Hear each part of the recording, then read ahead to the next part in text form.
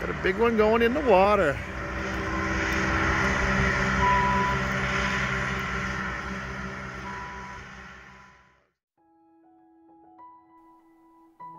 Hey guys, it's Jeff with another episode of our 1999 Carver 356.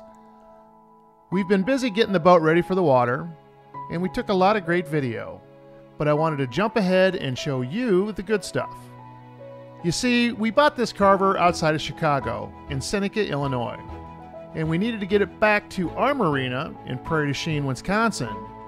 There's a couple ways to do it.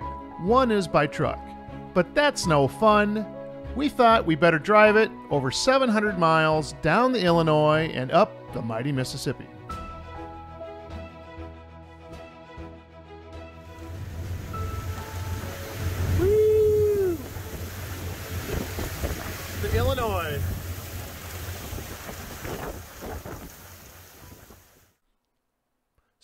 Let's get started.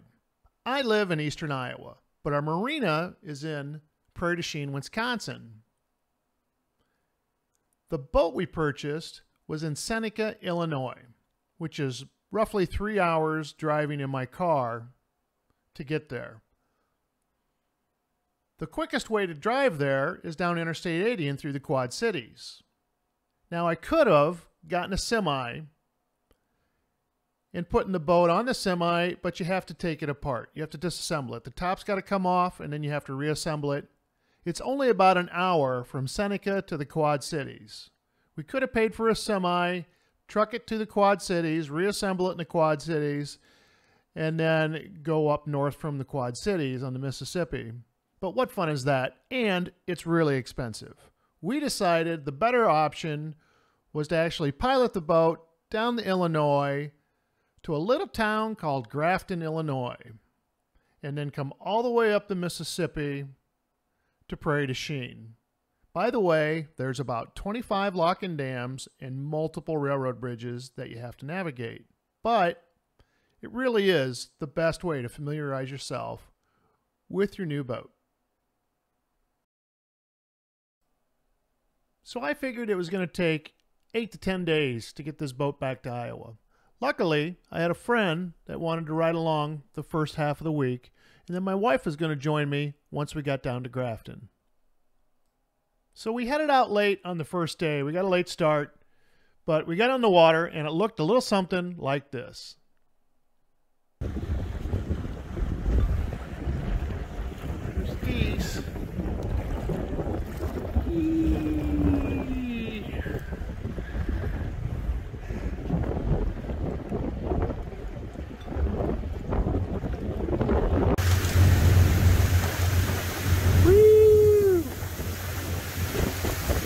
Illinois.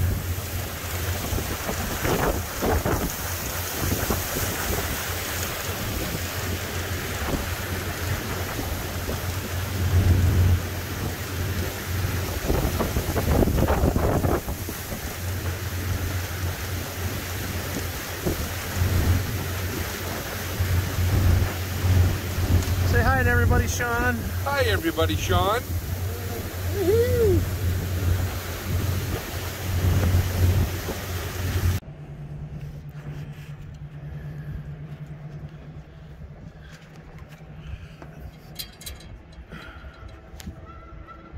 Hi, Sean. Hey, so does that rope need to come down?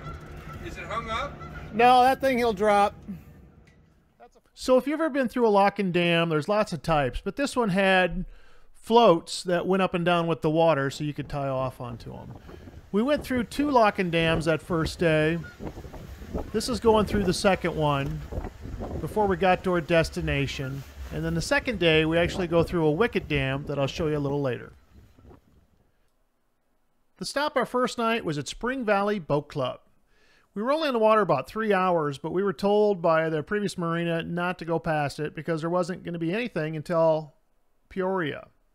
So we stopped about 5:30 at night, had a pizza, a few beers, took a shower, and getting ready for the next full day.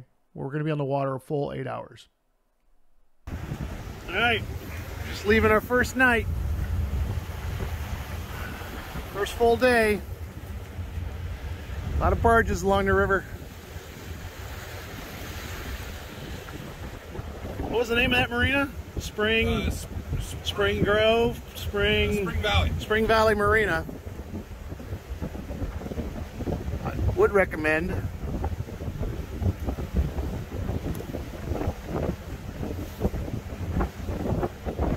A little chilly again this morning. Got to have the coat and hat on. So we had one fatal flaw when we left that morning. We did not fuel up. So here we are on the upper Peoria Lake looking for a marina that has fuel. Luckily, we found the Illinois Valley Yacht and Canoe Club.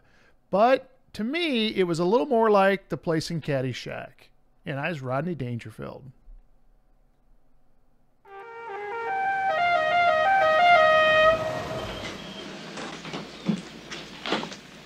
Yeah, I can't park my car, get my bags, and put on some weight, will you?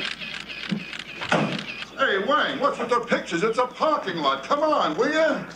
I think this place is restricted, Wang, so don't tell me you're Jewish. Okay, fine.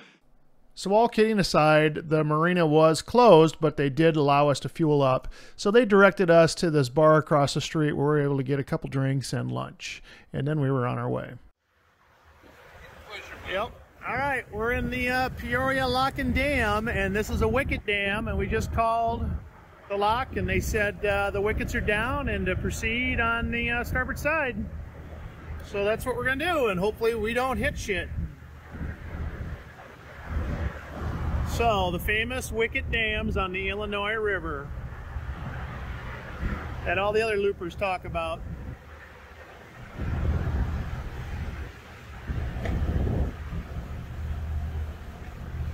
Nothing fancy to look at.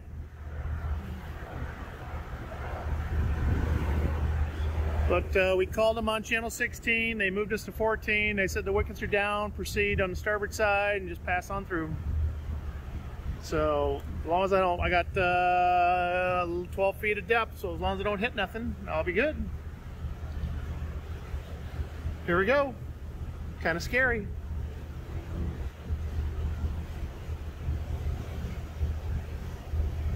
I've heard about the wicket dams. I've never gone through one.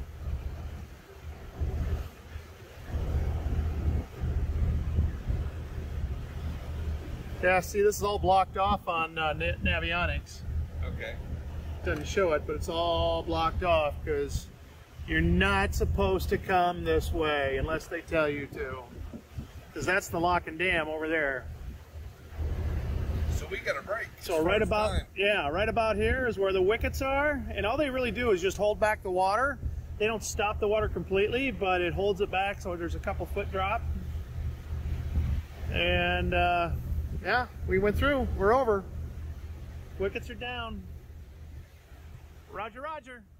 Roger Rabbit. Roger out. So this was our first full day on the water, and for the middle of April, our weather was really great. We got some great video, but one thing I'll say about the Illinois is it's really a commercial river. We really didn't see any recreational boats on the water the entire time, except for maybe one or two flat bottom small fishing boats as we got closer down south uh, towards St. Louis. The other thing about the Illinois is there's not a whole lot of channel markers for all of the commercial traffic that's there, but it's heavily, heavily barge traffic and it's not that wide. The grain elevator for the grain barge. Lots of barges on the river today. Lots of barges, one coming right at us. Now that we had a full tank of gas, we still had a long way to go to get to our next overnight stop at Havana, Illinois. So we kept the boat up on plane most of the day. Of course, pretty new to the boat, and we did find some problems. We were having some transmission problems, we were having some engine problems, but we made it eventually to our Havana in a nice little place called the Tall Timbers Marina. This is a great little marina. I would love to see what this thing would be like in the summertime when it's full of people. So here we had to say goodbye to Sean and trade out my crew for my wife and Todd and Tawny they join me for the next leg of our adventure all the way down to Grafton.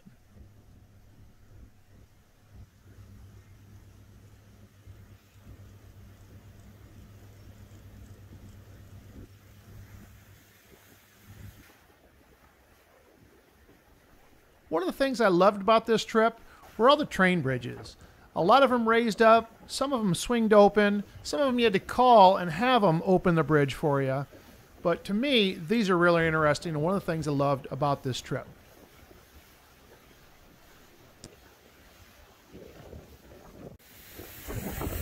All right, we're about five miles from Grafton. Coming into Grafton, we got a little, uh, little more hilly. Actually, got a little more scenic here. We get close to Mississippi.